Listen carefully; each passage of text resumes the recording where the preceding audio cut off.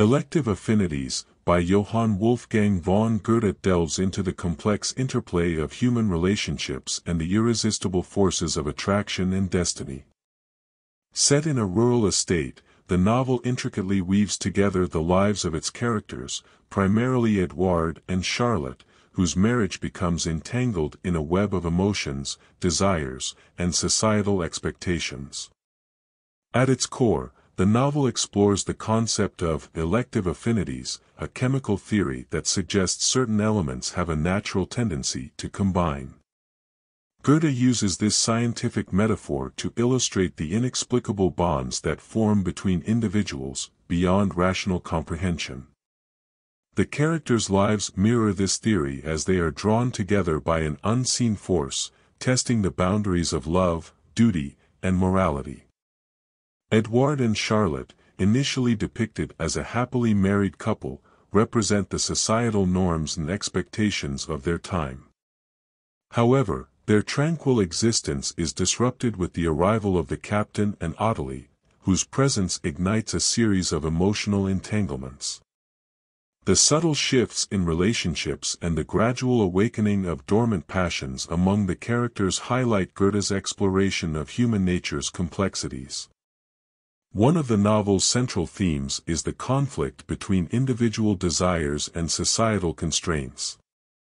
Eduard and Ottilie's growing attraction challenges the established moral framework, blurring the lines between right and wrong.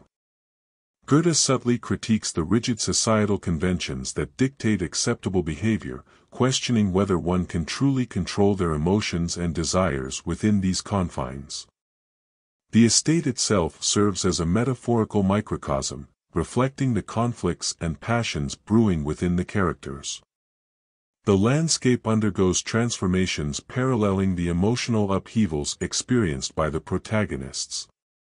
Goethe's vivid descriptions of the estate's gardens and structures symbolize the shifting emotional landscapes of the characters, adding depth to the narrative. Moreover, the novel delves into the complexities of human psychology, portraying how desires, once awakened, can overpower reason. Eduard and Ottilie's emotional turmoil, depicted with poignant detail, emphasizes the unpredictability and irrationality of human emotions. Goethe portrays love not as a rational choice but as a force that transcends logic, leading individuals to act against their better judgment. The tragic culmination of events, leading to the demise of the main characters, underscores the inevitability of fate and the consequences of yielding to uncontrollable passions.